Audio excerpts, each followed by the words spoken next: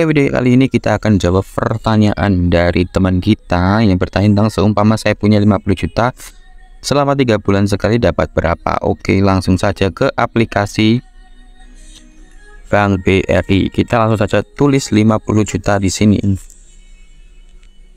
Nah di sini ada pilihan.